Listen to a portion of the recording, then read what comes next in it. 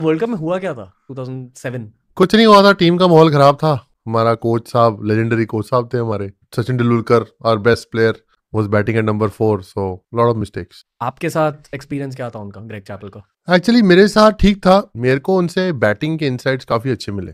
I really got to know some good stuff about batting approach to batting उनकी problem क्या थी कि problem with our seniors. So he wanted our seniors to be out of the team.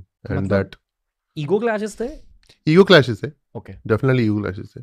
Senior को निकाल के team थोड़ा बना सकते हो। आप जूनियर सीनियर दोनों टीम बनाते हैं ना। There has to be Experience youth. And experience that's how the team does well तो क्योंकि वाइब नेगेटिव थी इसलिए परफॉर्मेंस भी ऑन पॉइंट नहीं हुई। यार मेरा एक्सपीरियंस है अगर ड्रेसिंग रूम एटमोसफियर अच्छा नहीं होगा ना तो टीम की परफॉर्मेंस नहीं आएगी। टीम चाहे जितनी मर्ज़ी अच्छी हो।